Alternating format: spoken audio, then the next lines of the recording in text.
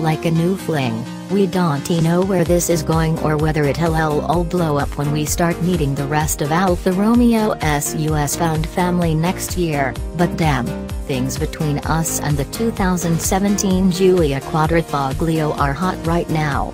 As in, cuffed to the bedposts hot. The sex appeal expected of an expensive, high-performance Italian car drips from the Giulia's every curve. The Quadrifoglio upgrade piles on the pheromones with a snarling front bumper, a massive diffuser straddled by Ferrari-like exhaust tips, and a painted carbon fiber hood and roof. The hardware also arouses.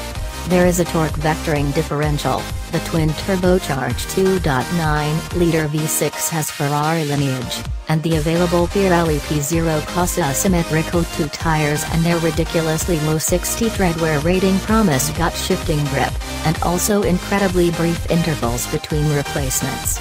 All of this adds up to a sports sedan that can really romp.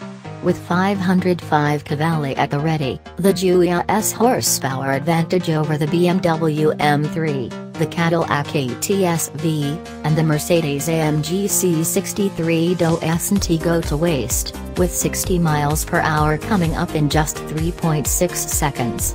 The quarter mile flashes by in a blistering 11.9 seconds both figures are class leading and although we didn't have the space to verify it, Alfa claims the Giulia Quadrifoglio can achieve 191 miles per hour.